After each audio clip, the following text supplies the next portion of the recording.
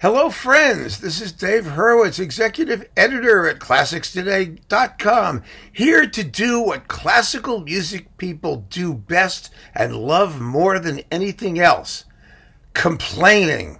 This is a major fetch. I get to talk about all the horrible ways to package a CD, and I'm going through quite a few of them because I'm completely fed up. I've had it up to here. I'm disgusted with all of the stupid, annoying, complicated, unnecessarily fussy, accident prone methods of packaging a simple compact disc. It's absolutely insane. And it started right at the beginning of our peregrinations through the CD world. It started with this the Jewel Box. What an optimistic name for such an atrocious contraption. The one thing this had going for it, ideally, is that when it was intact, it really protected the CD. I mean, that's a good thing, right? That's what it's really there for. And it had this thing here where you could stick a booklet. I mean, the potential was all there.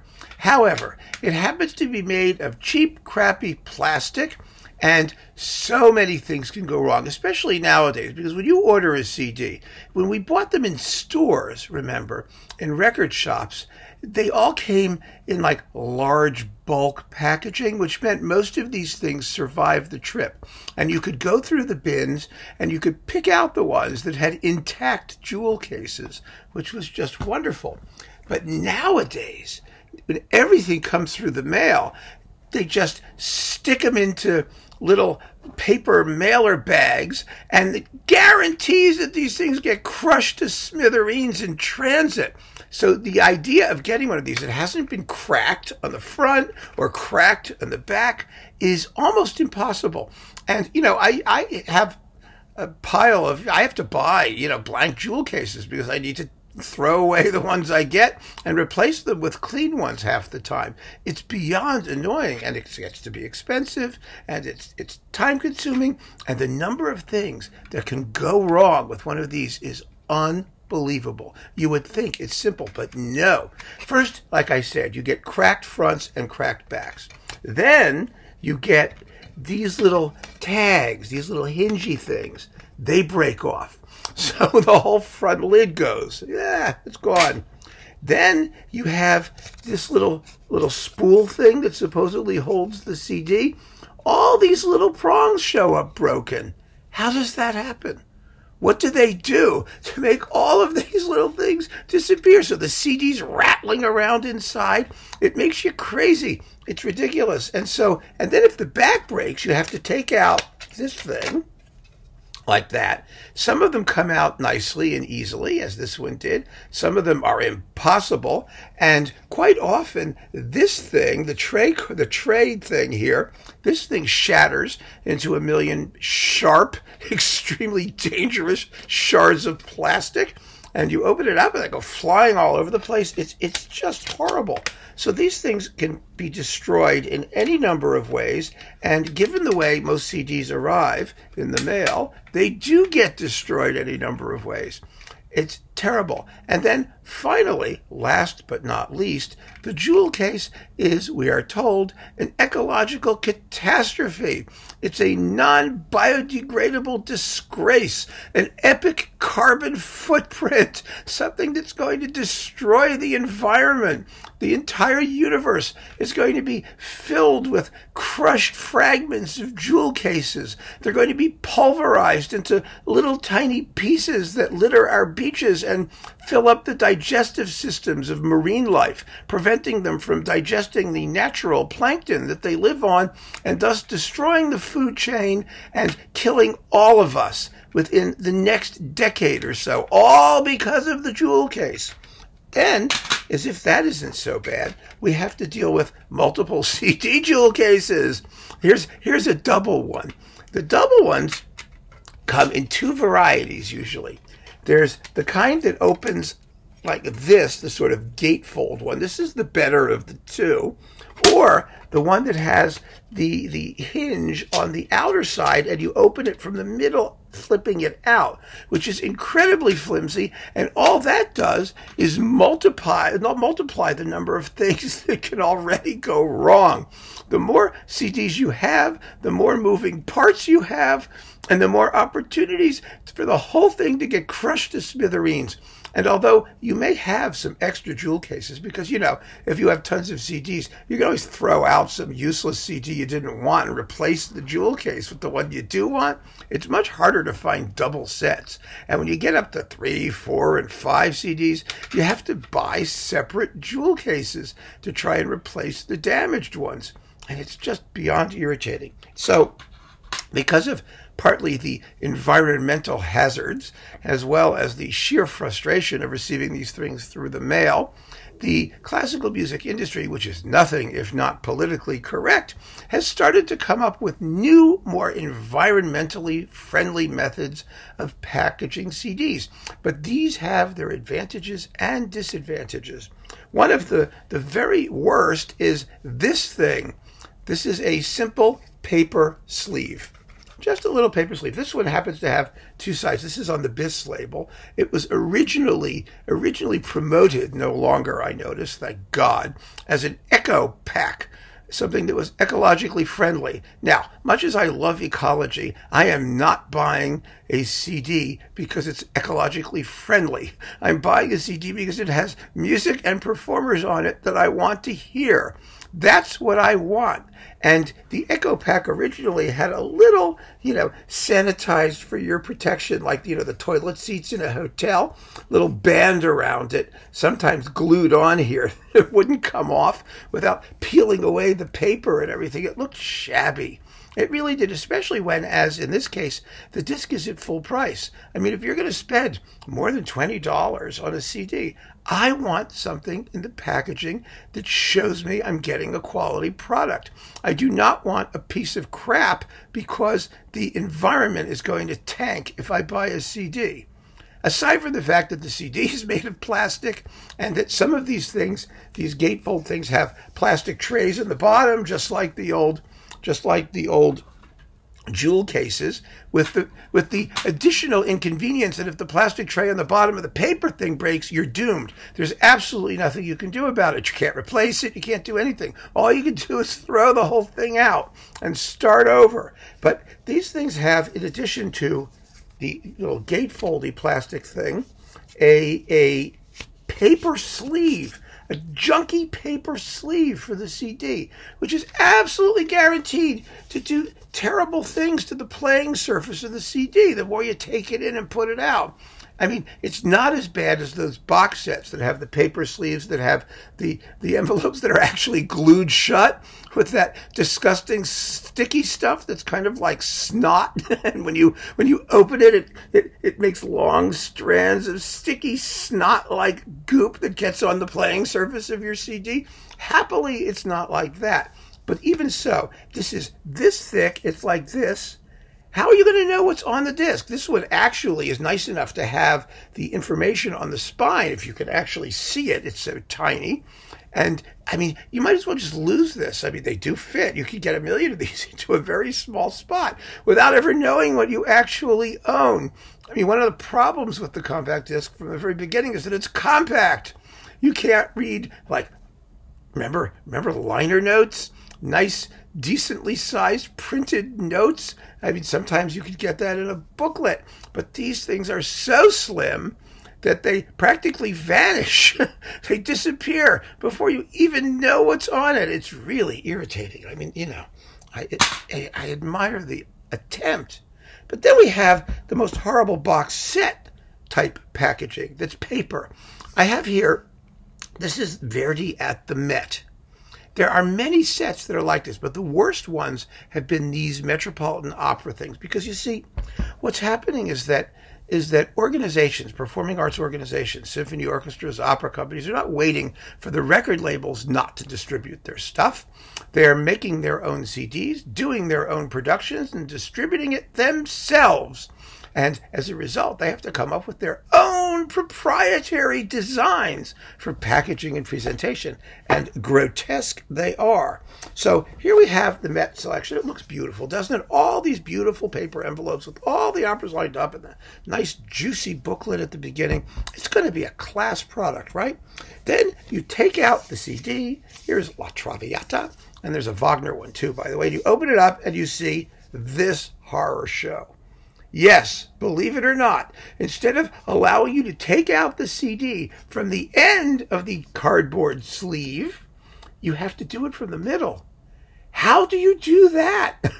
How do you get the damn thing out without without either tearing the paper sleeve or or scratching the playing surface of the CD as one of them rubs against the edge of the other one or the edges of the paper. I mean, what do you, what what do you do with this? Do you do you do it like this way and try and and not get your your, your fingers all over it? And and I mean, it's stuck. It doesn't. Uh-huh. Try and get it out. There we go. It comes out like that, and then you very oh so it won't go back. Then it doesn't go back. There's like a there's like a, a glued on folded thing in here, and you you you, you can't if you get it out it, it doesn't want to go back in. And by the time you get it back in, you've probably destroyed the playing surface of your CD and it will start merrily skipping along whenever you attempt to play it. How could anybody, any sane person, come up with a packaging concept so unbelievably stupid?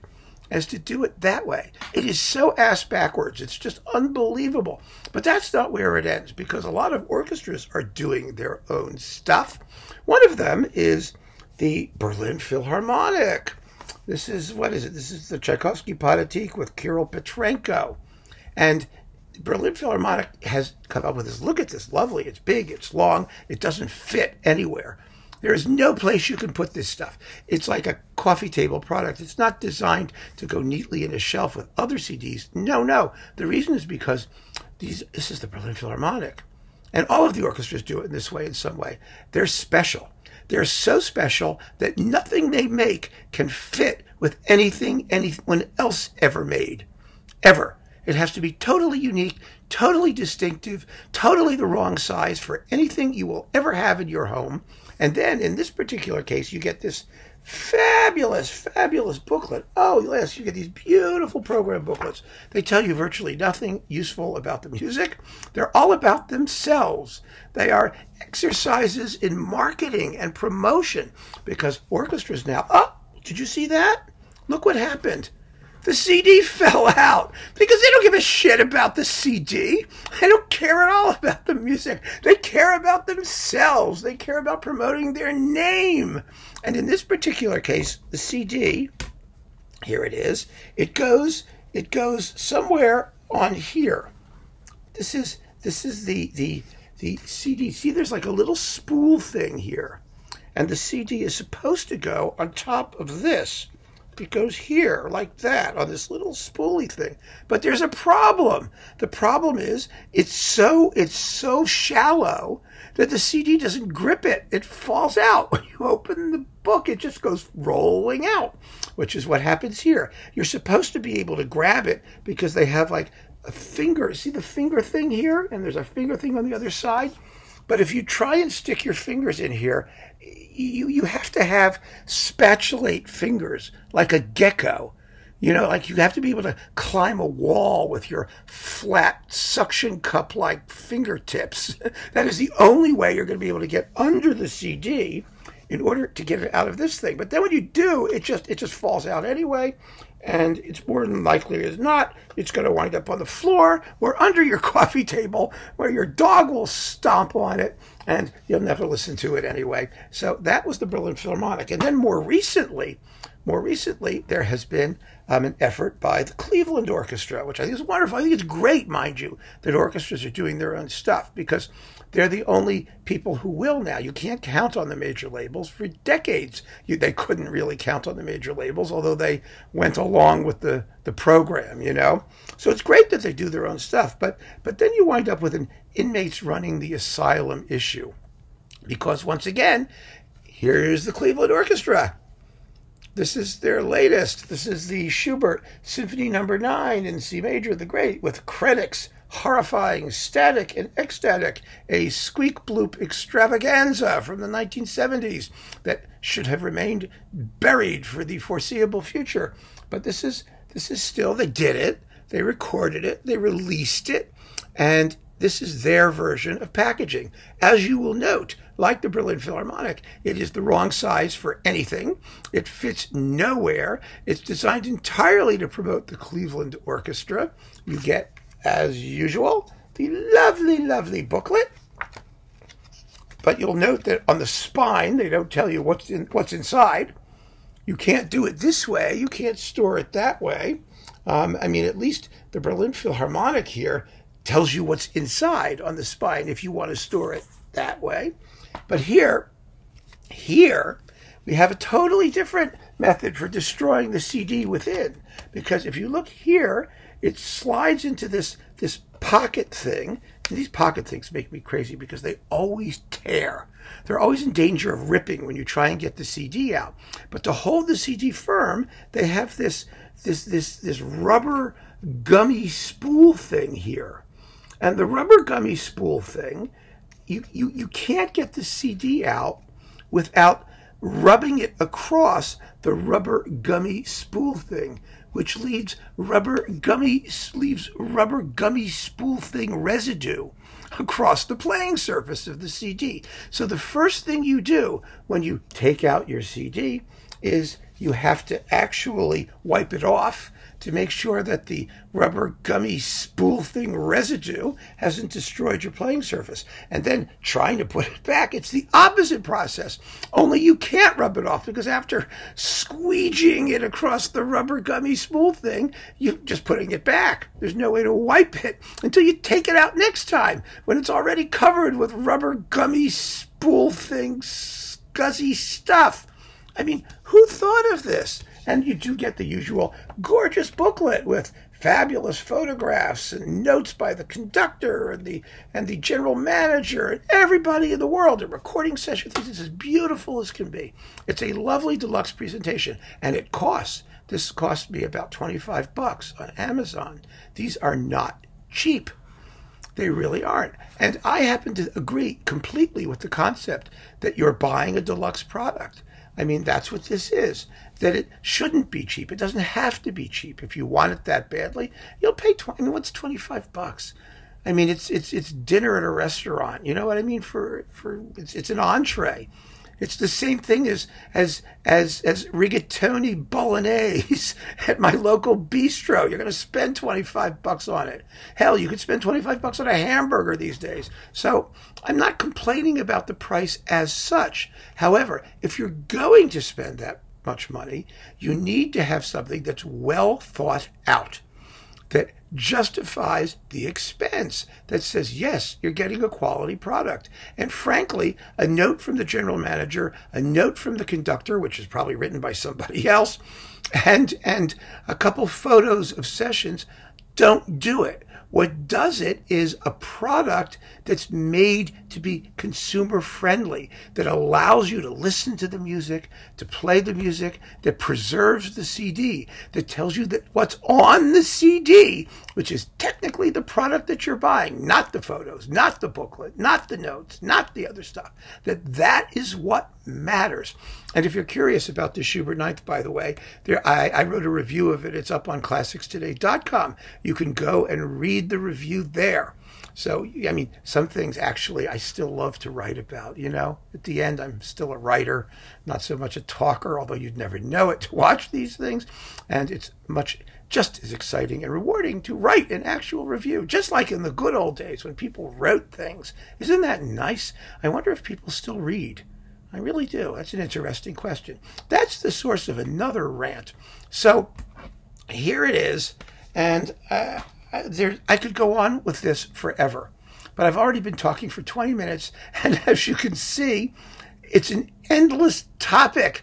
An endless source of grievance, of fetching, of complaining, of aggravation. It's going on and on, and it's never going to stop. The only th- way that it's going to be resolved is when we all do digital downloads and there's no physical product at all. But that's even worse because then you're spending money for nothing. You're spending money for digits. And that's a whole philosophical question I can't even bother to get into. But those are my thoughts on the, the catastrophe, the marketing and ecological and, and conceptual catastrophe that is modern CD packaging. We just have to get through it somehow. So keep on listening, folks. If you can, if you can get your CDs out of the little packages without destroying them. Take care.